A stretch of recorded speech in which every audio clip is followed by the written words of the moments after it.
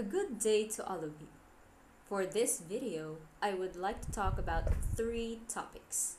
The skin and its structures, the different bones of the skeletal system, and the major muscles of the human body.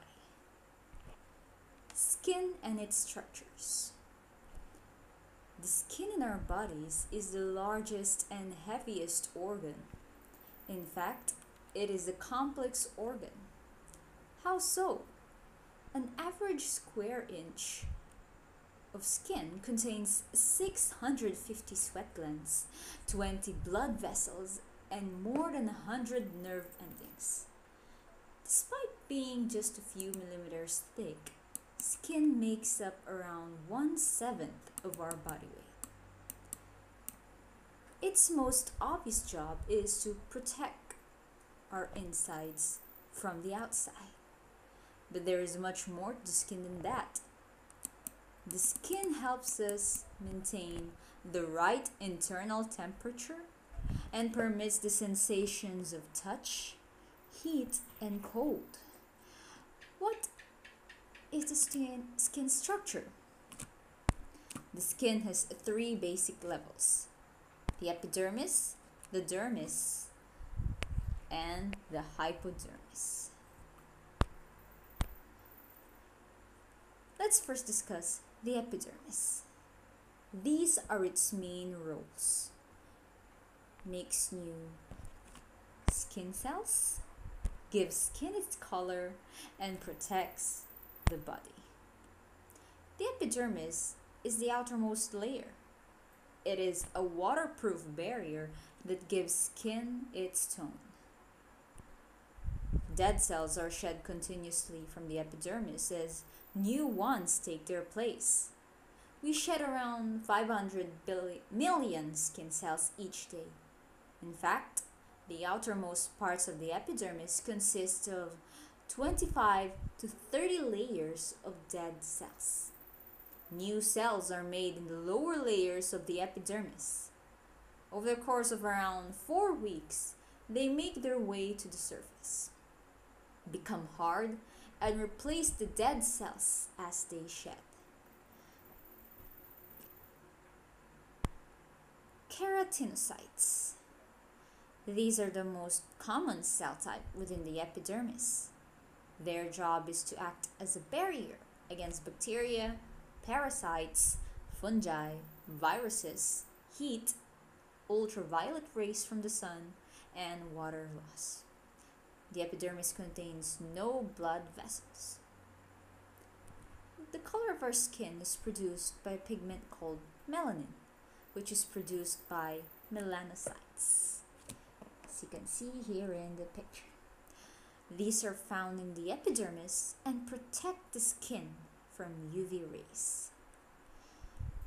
The epidermis is subdivided into five layers. The stratum corneum,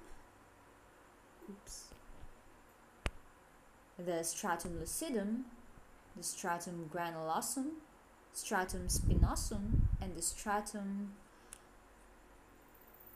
germativum. Let's start from the upper one, the stratum corneum. It is the most superficial layer of the epidermis. This dry, dead layer helps prevent the penetration of microbes and the dehydration of underlying tissues and provides a mechanical protection against abrasion for the more delicate underlying layers. The stratum lucidum.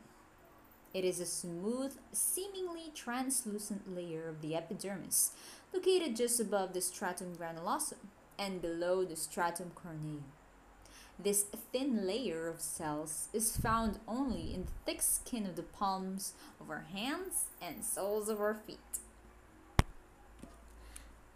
Next is the stratum granulosum. It has a graying appearance due to further changes to the keratinocytes as they are pushed from the stratum spinosum. The cells, three to five layers deep, become flatter. Their cell membranes thicken and they generate large amounts of protein called keratin. Next is the stratum spinosum. As the name suggests, the stratum spinosum is spiny in appearance due to the protruding cell processes that join the cells via a structure called a desmosome. The desmosomes interlock with each other and strengthen the bond between the cells. And the last layer of epidermis is the stratum germa germinativum. It is the deepest epidermal layer and attaches the epidermis to the basal lamina, which below which lie the layers of the dermis. After the epidermis is the dermis. These are its main roles. Make sweat and oil, provide sensations to the blood and blood to the skin, and grows hair. The dermis is mostly connective tissues and protects the body from stress and strain. It gives the skin strength and elasticity. If the dermis is stretched a lot, for instance, during pregnancy, the dermis can be torn, and this shows up as the so called stretch marks. The dermis contains nerve endings, sweat glands, and oil glands hair follicles, and blood vessels. The nerve endings sense pain, touch, pressure, and temperature. Some areas of the skin contain more nerve endings than others. For example, the fingertips and toes contain many nerves and are extremely sensitive to the touch.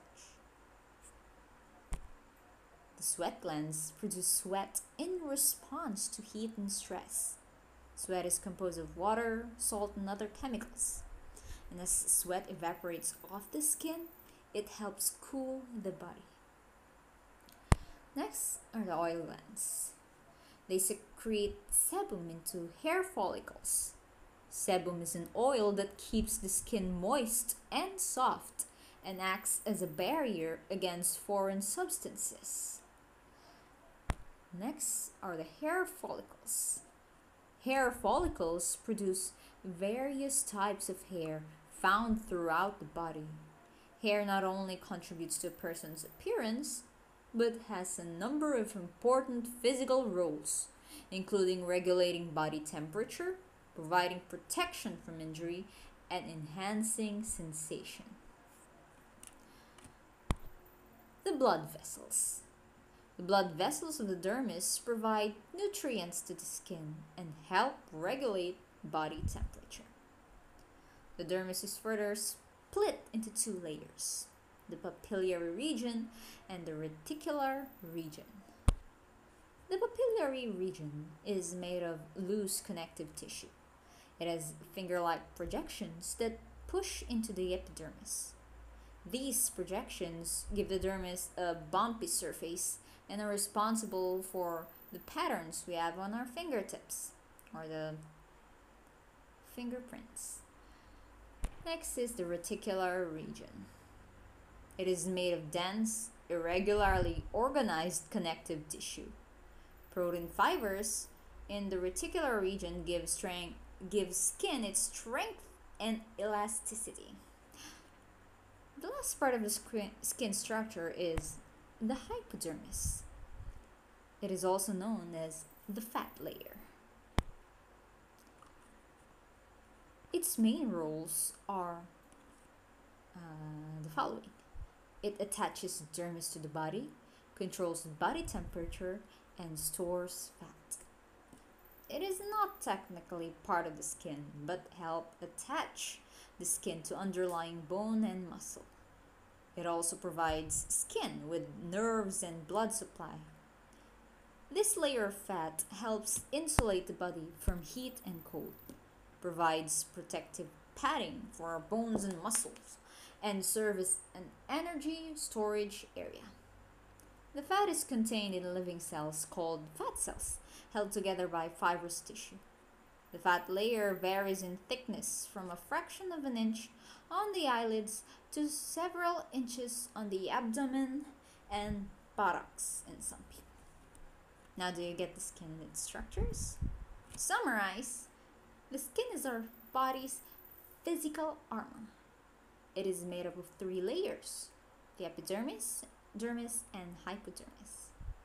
So let's move on to the different bones of the skeletal system. If you ever seen a real skeleton or fossil in a museum, you might think that all bones are dead. Although those bones are dry, hard, or crumbly, the bones in your body are different.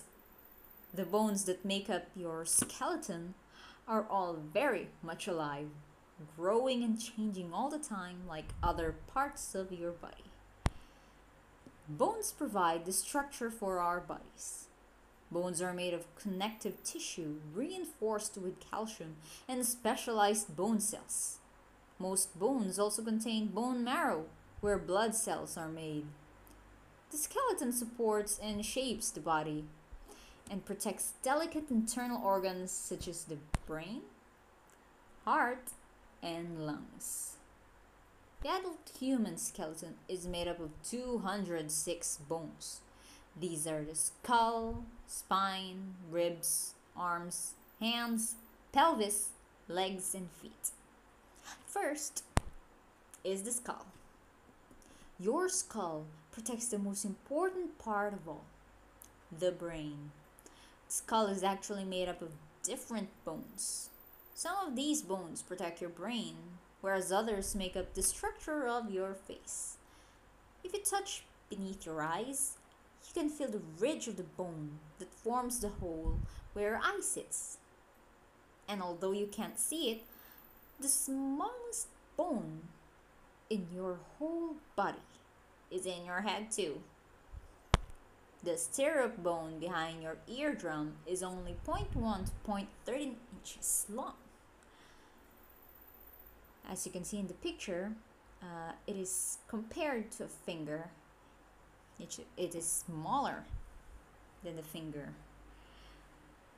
And another additional fact is that your lower jawbone is the only bone in your head you can move. It opens and closes to let you talk and chew food. Second is the spine. Your spine is one part of the skeleton that's easy to check out. Reach out to the center of your back and you'll feel its bumps under your fingers. The spine lets you twist and bend and it holds your body upright. It also protects the spinal cord. The spine is special because it isn't made of one or even two bones. It's made of 33 bones in all. These bones are called vertebrae, and each one is shaped like a ring.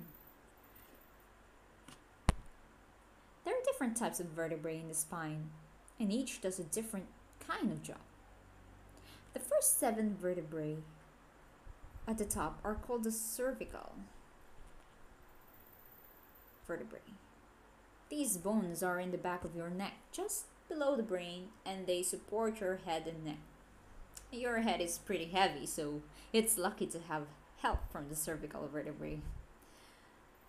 Below the cervical vertebrae are the thoracic vertebrae, and there are 12 in all.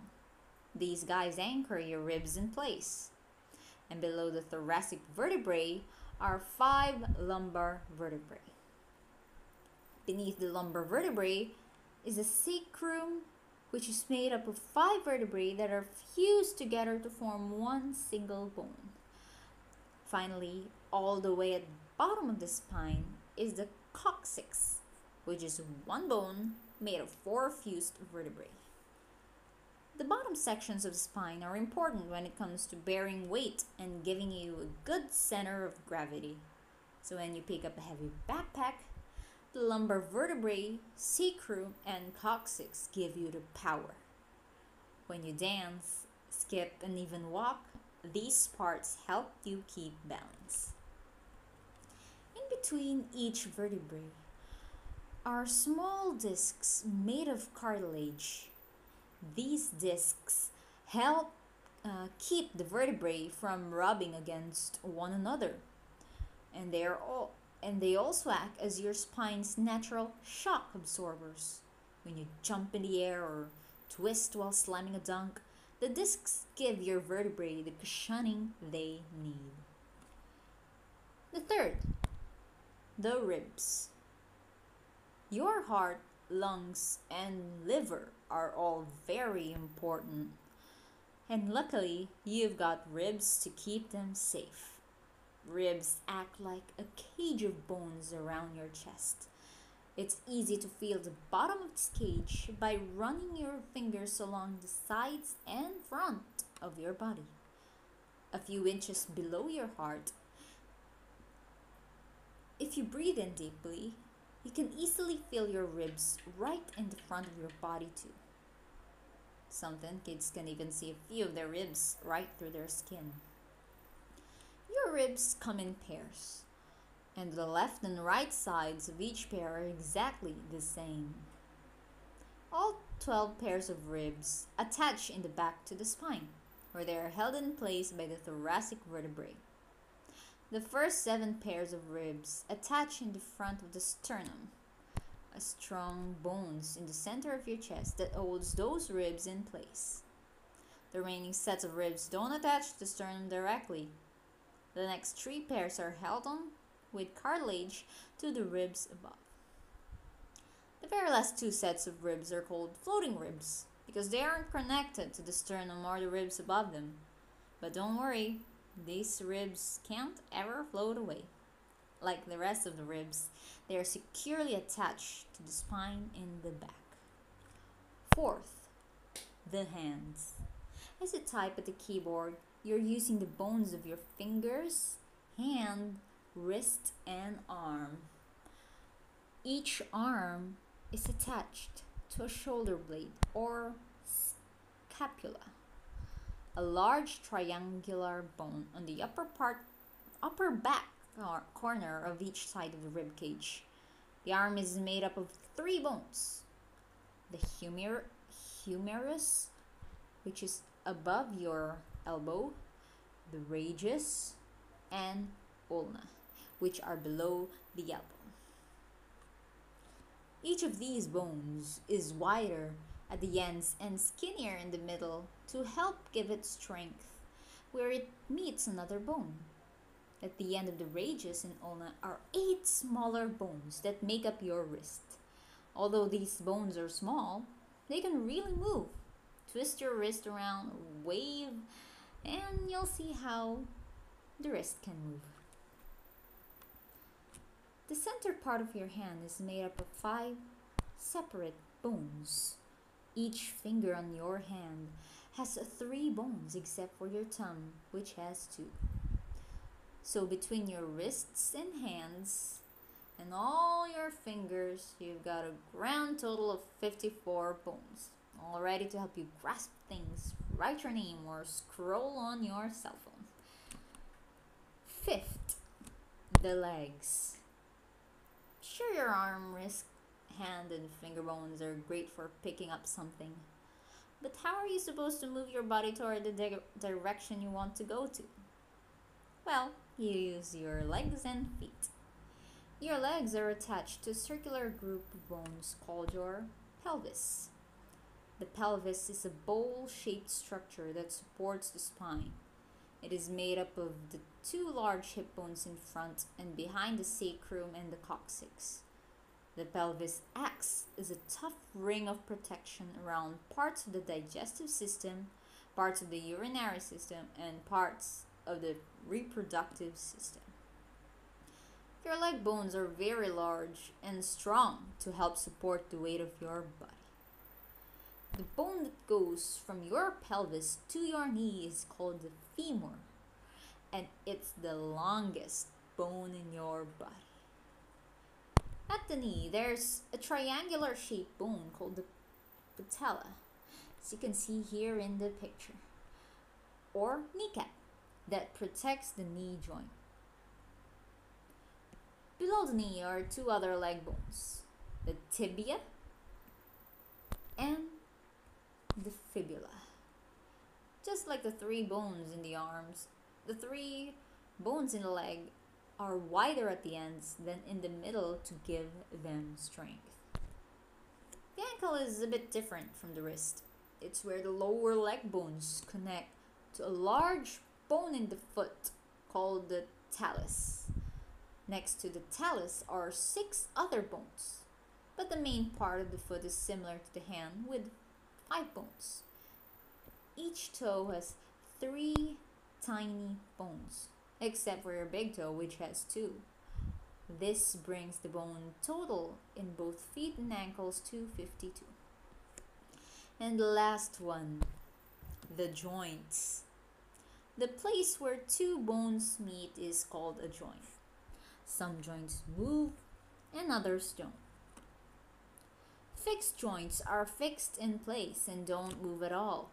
Your skull has some of these joints called sutures, which close up the bones of the skull in a young person's head. One of these joints is called the parieto-temporal suture. It's the one that runs along the side of the skull. Moving joints are the ones that allow you to twist, bend, and move different parts of your body. Some moving joints, like the ones in your spine, move only a little. Other joints move a lot. One of the main types of moving joints is called a hinge joint. Your elbows and knees each have hinge joints, which let you bend and then straighten your arms and legs. These joints are like the hinges on a door. Just as most doors can only open one way, you can only bend your arms and legs in one direction. You also have many smaller hinge joints in your fingers and toes. To help you visualize it, you can look at the picture and see this hinge, that one. Another important part, uh, type of moving joint is the ball and socket joint. Here, it's also in the picture. You can find these joints at your shoulders and your hips. They are made up of the round end of one bone fitting into a small cup-like area of another bone. Ball and socket joints allow for lots of movement in every direction. Make sure you've got lots of room and try swinging your arms all over the place. Have you ever seen someone put oil on a hinge to make it work easier or stop squeaking? Well, your joints come with their own special fluid called the synovial fluid that helps them move freely. Bones are held together at the joints by ligaments, which are very strong rubber bands. Let's move on to the bone types. There are four different types of bone in the human body the long bone, short bone, flat bone, and irregular.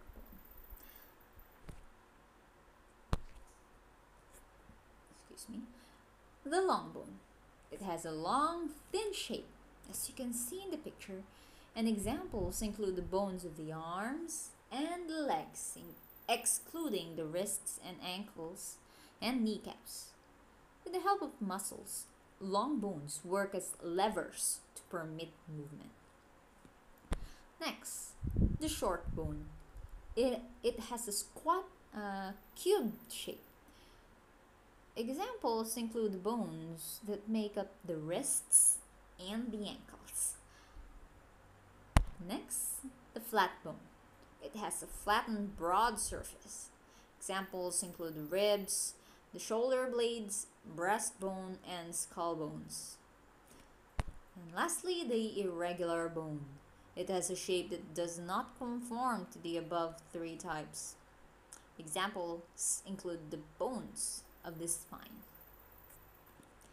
Okay, so now let's move on to the major muscles of the human body. Did you know that you have more than 600 muscles in your body? They do everything from pumping blood throughout your body to helping you lift your heavy backpack. You control some of your muscles, while others, like your heart do their jobs without you thinking about them at all.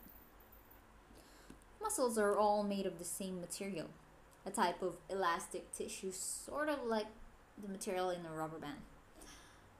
thousands or even tens of thousands of small fibers make up each muscle. You have three different types of muscles in your body the smooth muscle, cardiac muscle, and the skeletal muscle. First up are the smooth muscles. Smooth muscles, sometimes also called involuntary muscles, are usually in sheets or layers with one layer of muscle behind the other. You can't control this type of muscle. Your brain and body tell these muscles what to do without you even thinking about it. But smooth muscles are at work all over your body. Your stomach and digestive system, they contract or tighten up and relax to allow food to make its journey through the body. Your smooth muscles come in handy if you're sick or you need to throw up. The muscles push the food back out of the stomach so it comes out through the esophagus and out of the mouth. Smooth muscles are also found in your bladder. When they're relaxed, they allow you to hold in urine until you can get to the bathroom. Then they contract so they can push the urine out. You'll find smooth muscles at work behind the scenes in your eyes too. These muscles keep the eyes focused. Next up is the cardiac muscle. The muscle that makes up the heart is called the cardiac muscle. It is also known as the myocardium. The thick muscles of the heart contract to pump blood out, then relax to let blood back in after it has reg- circulated through the body. Just like smooth muscle, cardiac muscle works all by itself with no help from you. And lastly, the skeletal muscle. Now let's talk about the kind of muscle you think of when you say muscle. The ones that show how strong you are. These are your skeletal muscles, sometimes called striated muscle because the light and dark parts of the muscle fibers make them look striped. Well, striated is a fancy meaning, a fancy word meaning striped. Skeletal muscles are voluntary muscles, which means you can control what they do. Your arm won't bend to throw the ball unless you want to.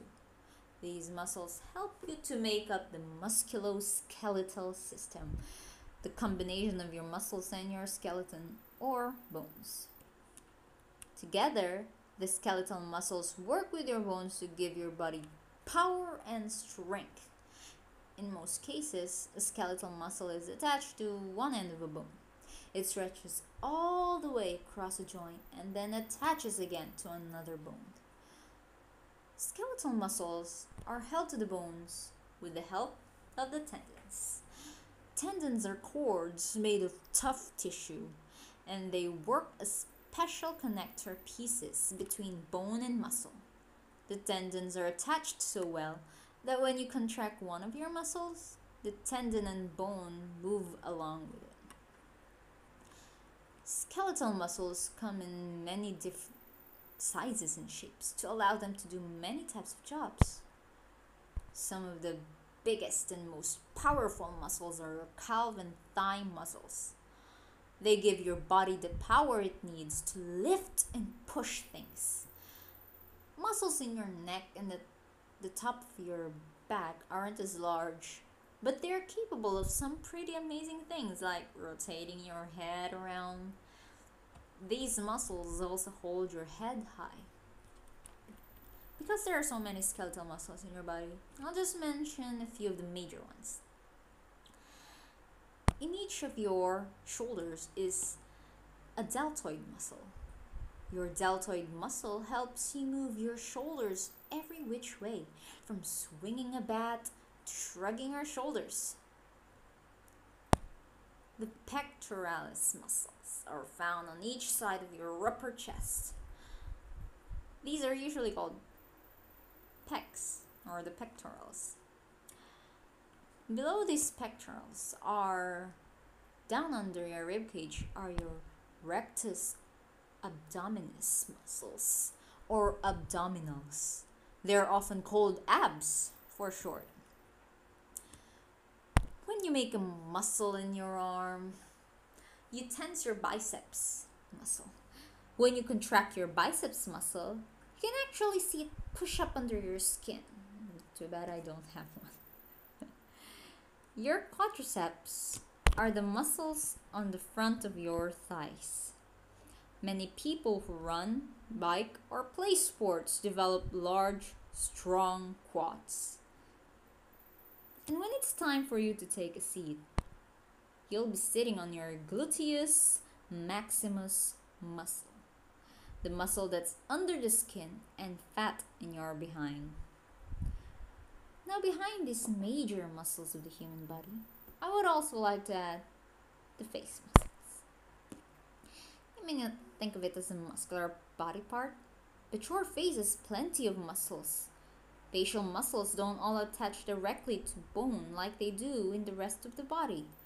Instead, many of them attach under the skin.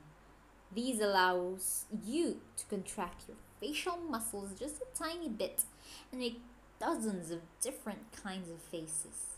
Even the smallest movement can turn a smile into a frown. You can raise your eyebrows or look surprised or wiggle your nose. Now don't forget about the tongue, muscle that's attached only at one end. Your tongue is actually made of a group of muscles that work together to allow you to talk and help you chew food. So that's all for today's video. I hope you have learned a lot. Thank you very much. See you again next time.